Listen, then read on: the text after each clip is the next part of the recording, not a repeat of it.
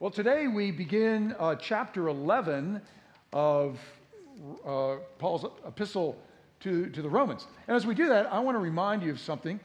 What's of supreme importance is not what I say from up here, or what you think may be true, or what's comfortable, or what might make you and me feel good. No, the thing that's of utmost supreme importance is what does the Bible really say. And sometimes it says some things that's uncomfortable for us. You know, if the Bible really is the inspired, infallible Word of God, then you and I have got to take seriously everything in Scripture and wrestle with it, no matter how uncomfortable. If it's not the inspired, infallible Word of God, then we can dodge all that stuff. We don't have to take it seriously, and we are absolutely free to construct our own faith system. The driving reason we are in a new denomination, the Evangelical Covenant Order of Presbyterians, is pretty much, if not officially, in practice, the former denomination that this church was a part of practices the latter rather than the former, which has led to fuzzy thinking about matters of faith and practice, even some things contradictory to the clear teaching of Scripture. And so now that we're a part of, of ECO, all ECO does is uh, restore theolo- uh, confidence in the scriptures and theological clarity about what we Presbyterian type Christians have always believed. And one of those areas of theological clarification is on a very difficult doctrine the doctrine of election slash predestination. You, you cannot pull the two apart.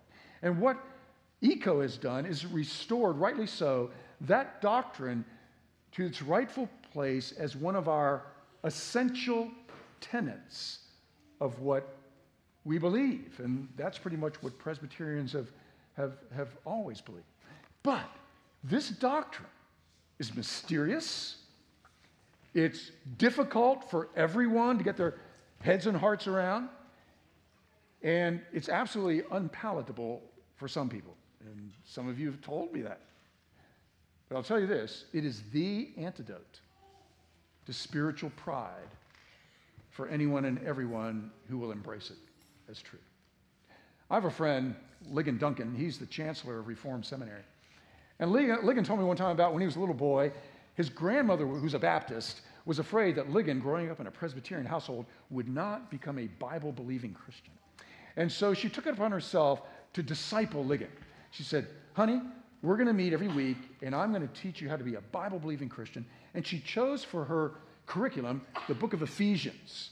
In the first les- lesson, in you know, chapter one, they get it, verse four, you know, before the foundation of the world, God chose us. Well, she jumps over that.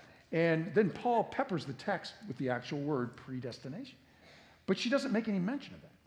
So at the end of the lesson, his grandmother says, Well, Ligon, do you have any questions? And he said, Grandma, how come you didn't say anything about these words predestination? Now, Ligon had heard those before in his Presbyterian church. And she said, Well, honey, we don't believe that. And they said, But, but, it, but it's here in the Bible. Yeah, yes, but we don't believe that. Now, we could chuckle and laugh, but if we're honest with ourselves, we're all a little bit of Ligon Duncan's grandma we tend to read the Bible and we tend to want to dodge uh, and navigate around anything that's discomforting or downright unpalatable. To be a Bible believing Christian simply means you read the scriptures, embrace what they clearly teach, no matter how difficult. You don't dodge anything. Let's attempt to do that this morning as we look at the first 10 verses of Romans chapter 11. So I would encourage you to open your Bibles and keep them open or look at the screen or the insert that you've been handed on the way in. And please, please pray with me before we read. Holy Spirit, open our hearts and minds now to your word, that we might clearly understand it, that we might gratefully receive it, and that we might faithfully apply it to our lives. For Jesus' sake. Amen. Now, hear God's word addressed to you and me, beginning to read at verse 1 of Romans chapter 11. Paul writes, I ask them, has God rejected his people? By no means. For I myself am an Israelite, a descendant of Abraham, a member of the tribe of Benjamin. God has not rejected his people whom he foreknew. Do you not know what the scripture says of Elijah? How he appeals to God against Israel? Lord, they have killed your prophets, they have, they have demolished your altars, and I alone am left, and they seek my life. But what is God's reply to him? I have kept for myself 7,000 men who have not bowed the knee to Baal. So, too, at the present time, there is a remnant chosen by grace. But if it is by grace, it is no longer on the basis of works. Otherwise, grace would no longer be grace. What then? Israel failed to obtain what it was seeking. The elect obtained it. But the rest were hardened. As it is written, God gave them a spirit of stupor, eyes that would not see, and ears that would not hear, down to this very day. And David says, Let their table become a snare and a trap, a stumbling block and a retribution for them. Let their eyes be darkened so that they cannot see, and bend their backs forever. Please pray with me again. And now, Father, as my words are true to your word, may they be taken to heart. But as my words should stray from your word, may they be quickly forgotten. Through Jesus Christ our Lord. Amen. Christianity will go. It will vanish. It will shrink. I'm not here to argue it. I know I'm right, and I will be proven right. We're more popular than Jesus. That's John Lennon in a 1966 interview at the height of the Beatles' popularity.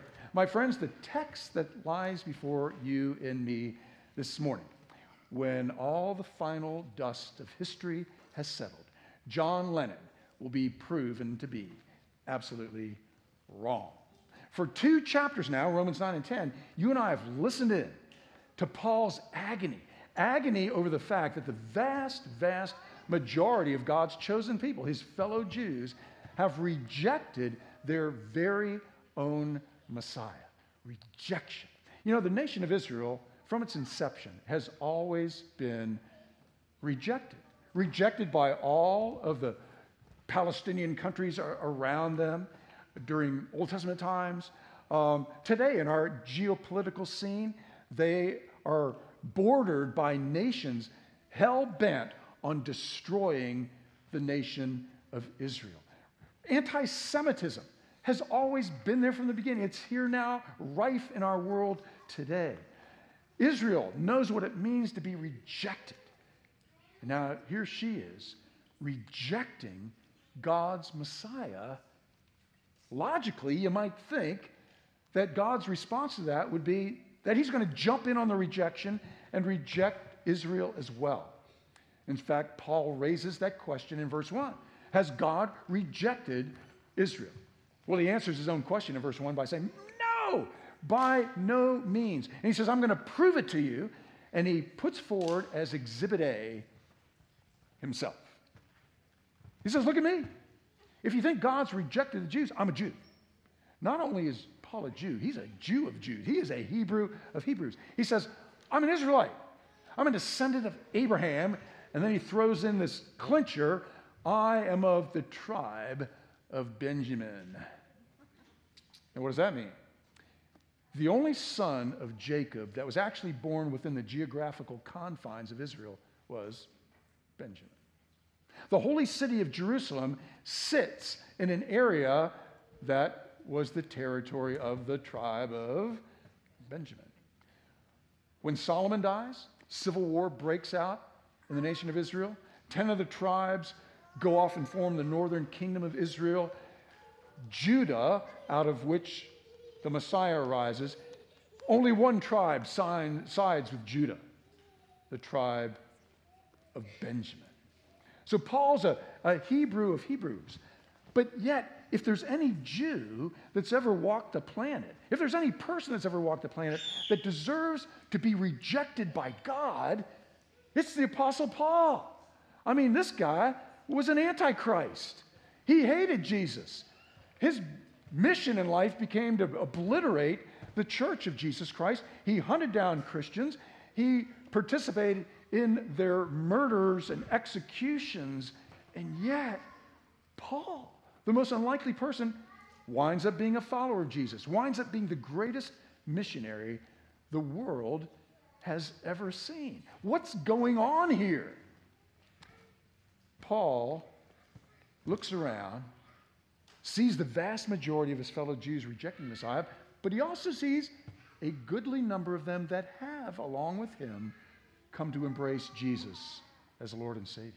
And so in verses 2 through 5 of our text, Paul surfaces a very important biblical theme or concept that of remnant. You can trace that all through the Old Testament. Whenever the nation of Israel rebels against God and God's, God brings judgment upon them, He never completely destroys them. He always preserves a remnant for Himself.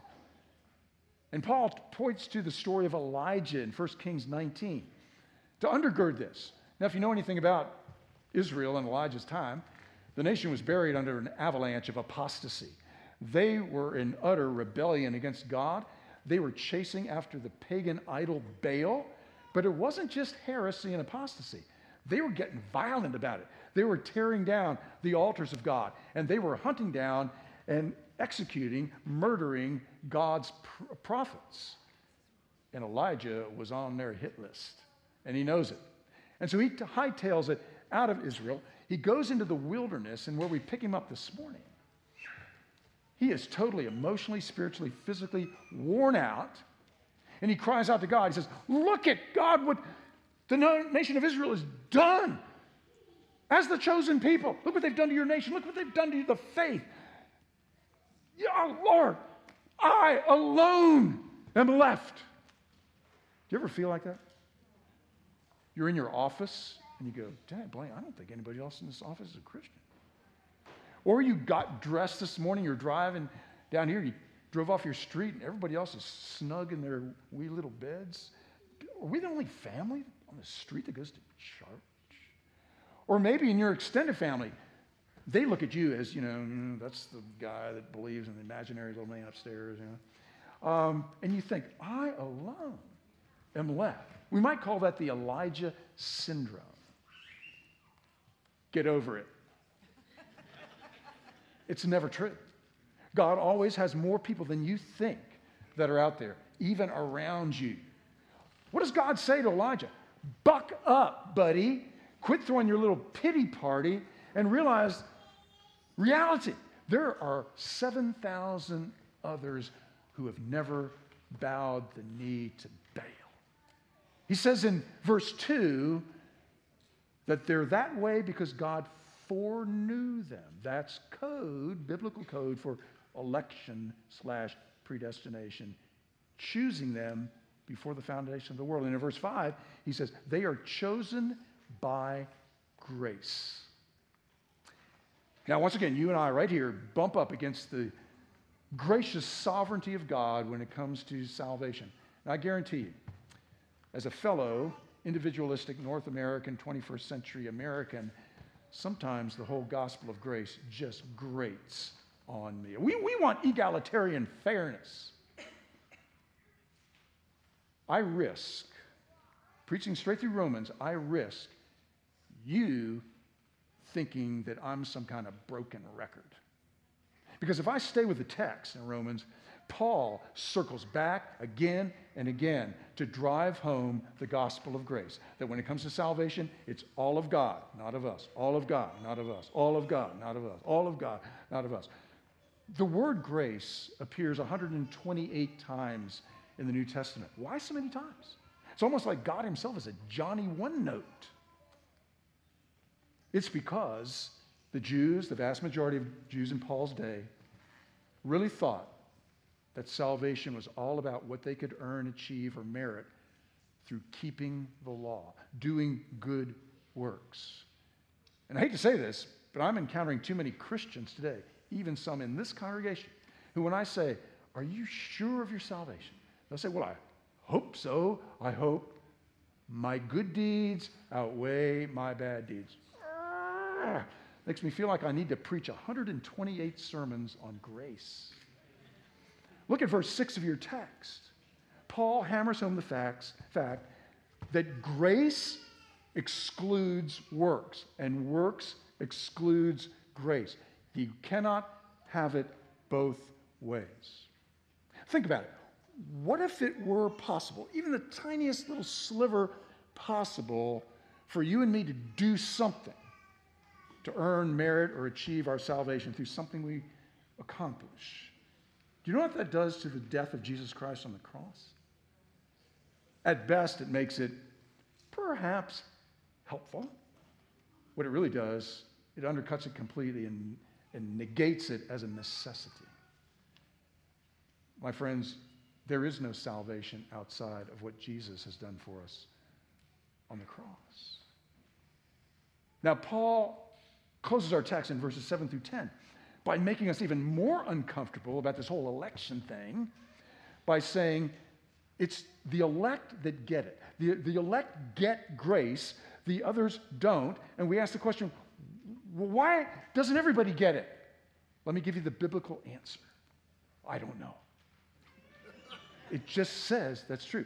And it makes us even more uncomfortable by saying, the others he hardened and gave them blind eyes. Oh, no. And stopped up their ears. Oh, and their backs are bent over forever, forever, I think because they're trying to carry the weight of their own salvation. And you and I can't bear up under that weight. Now, before you totally freak out and say, I'm going to go to the Unitarian church down the street, um, always interpret Scripture by Scripture. Paul writes Romans 1 to be the lens through which we're to see the rest of the letter. And when he talks about a hardened heart and quotes Isaiah and De- Deuteronomy and, and, uh, and David about that, God never, ever has hardened a heart that wasn't already hardened. When humanity fell at the fall, being a sinner means you have a hardened heart, means you are already, you already have a spirit of stupor. You're insensitive to spiritual things. Your eyes are blind to the gospel, or to reality, Jesus. Your ears are deaf to the gospel. Anybody that doesn't have a hardened heart, it's a miracle. Paul had the hardest of heart that anybody's ever had. And yet, he's a believer. Why? Because God changed his heart. Why doesn't God change everybody's heart? Biblical answer. I don't know. I wish he would. I don't want anybody to go to hell. But he always preserves a, a remnant. You know, I can put something in the sun, and some things will soften and some things will harden. I can put butter in the sun, and it'll get softer, even melt. I can put glue in the sun, it always gets harder. And the longer it's exposed to the sun, the harder it gets. In Romans 1, remember the punishment for sin? It's just more sin. God just gives them over. He doesn't make them sin. Just if you're saved, it's totally of God. If you're not, it's totally your undoing. Can't blame God for that. Wait a minute, Ron. Why does he do this remnant thing? Why does he do everybody? Biblical answer I don't know. I do know this that in the presence of the Son, S O N, some hearts melt, others are merely hardened. But the hearts that melt, like the Apostle Paul's, who were about as hard as you could get, that's the miracle of grace. That is the miracle of grace. That's the only reason I'm standing here today. I tried to outdo Paul, fell short, but I'm, I'm here. I do know this. Our response to this ought to be first humility. Nothing in my hand I bring, simply to thy cross I cling. I, I, there's nothing I can stand and go, see, God, I, I deserve to be with you forever. No, nothing. Total humility, undercut spiritual pride. Secondly, never stop praying for those around you who are hard hearted. Oh, that person, they'll never come to Christ. Don't ever say that. I know former hell, Hell's Angels who now, one guy runs Bikers for Christ. Remember Paul, as hard a heart as you could get. Don't ever give up on anybody. Thirdly, assume everybody around you and treat everybody around you as if they were elect. And you don't know. The only person you can be sure of is yourself. There may only be two people in hell. Maybe everybody you place uh, on the planet Earth is elect. I don't know. That's not my business, that's God's. Also, make a one of your core values in life ought to be faith driven risk. Get out on a limb.